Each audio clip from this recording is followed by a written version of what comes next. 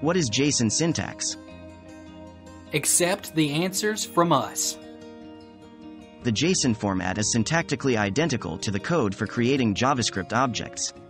Because of this similarity, a JavaScript program can easily convert JSON data into native JavaScript objects. The JSON syntax is derived from JavaScript object notation syntax, but the JSON format is text only.